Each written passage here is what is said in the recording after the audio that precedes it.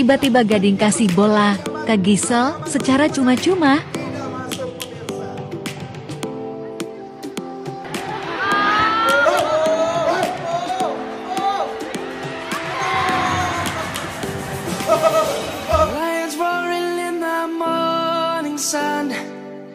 Searching for a longer day. Momen Gading Martin bertemu Gisela Anastasia di tengah lapangan basket membuat riuh penonton yang hadir.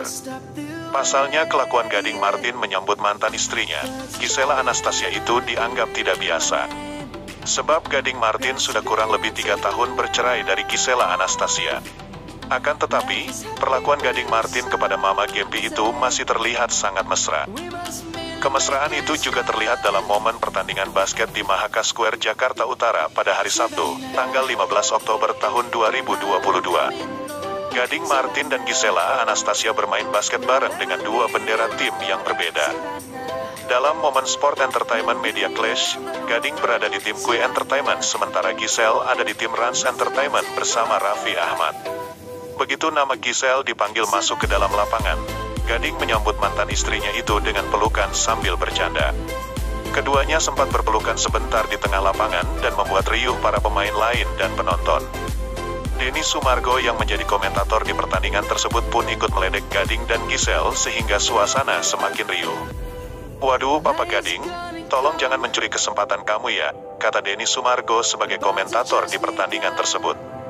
Selama berada di lapangan, Gading dan Gisel tak terlihat canggung, keduanya bahkan beberapa kali bercanda di sela-sela pertandingan. Bahkan Gading sempat memberikan bola secara cuma-cuma ke Gisel untuk melakukan shoot ke ring timnya, padahal Gading dan Gisel berada di kubu yang berbeda. Gading dan Gisel juga terus mencuri perhatian karena keduanya kedapatan memakai nomor punggung yang sama yakni nomor 8. Di jeda babak pertama dan kedua pun, keduanya masih berbincang dengan akrab sembari tertawa bahagia masih terpancar dari keduanya. Kehadiran Gisel dalam acara tersebut rupanya merupakan sebuah kejutan yang baru diumumkan ke Gading pada saat jumpa media beberapa waktu lalu.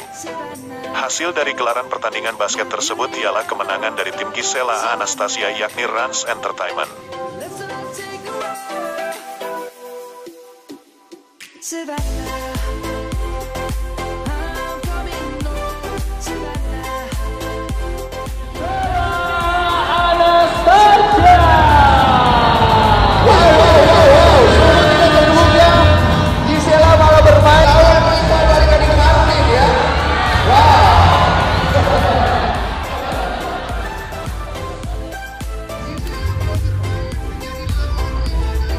Salah.